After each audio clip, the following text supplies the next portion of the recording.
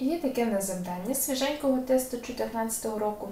Помилку в написанні слова допущено в рядку. Якщо звернути увагу, то всі слова тут іншомовного походження. Ти знаєш вже, що це означає. Це означає, що слова запозичені з іншої мови в українську, і дуже часто вони пишуться нетипово для української мови. Що тут потрібно знати? Ти бачиш, що найбільша помилка, яка може бути в цих словах, це правопис «и» «і». Як правильно написати кипарис чи кіпарис, азимут, азімут, косінус, косинус? Є насправді низка правил, яка регулює правопис «и» «і» в іншомовних словах. Один прекрасний нюанс. Де ти з'їси цю чашу жиру? Ще одна мнемоніка для запам'ятовування, додаває її в наш словниковий запас. Що це означає? Після д, т, з, с, ц, ч, ш, ж, р.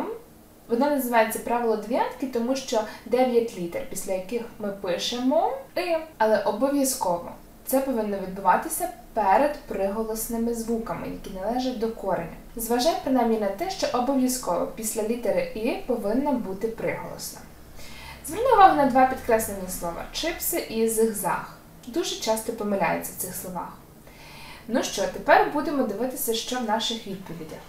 Насправді цим правилом регулюється дуже-дуже дуже багато слів.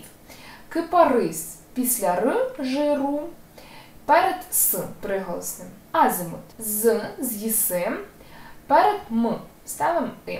Скепсис с з'їси, перед с ставимо и. Всі підкреслені слова написано правильно згідно із правилом дев'ятки. Що далі? Якщо ж після цих літер, де ти з'їси цю чашу жиру, стоїть голосний та на початку слів, пишемо і. Подивись на виділені червоним слова. Інженер, акціонер.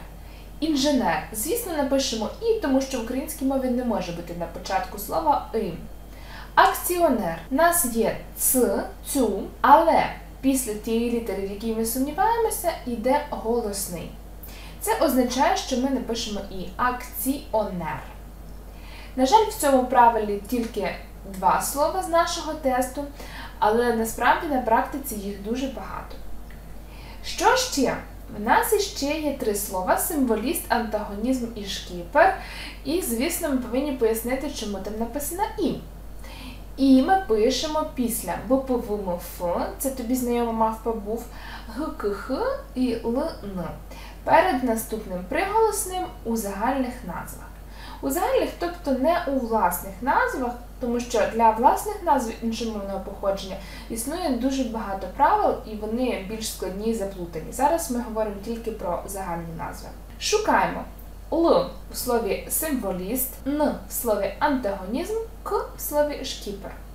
Ці всі літери не належать до де ти з'їси цю чашу жиру, а належать до наведених тут літер, після яких ми пишемо І. Звісно, після І теж є приголосний, це теж дуже важливо, тому сумнівів у нас не виникає. У нас лишилися два проблемні слова кипарис і сюїта. Кипарис це виняток, він не регулюється правилами, тому запам'ятай це слово.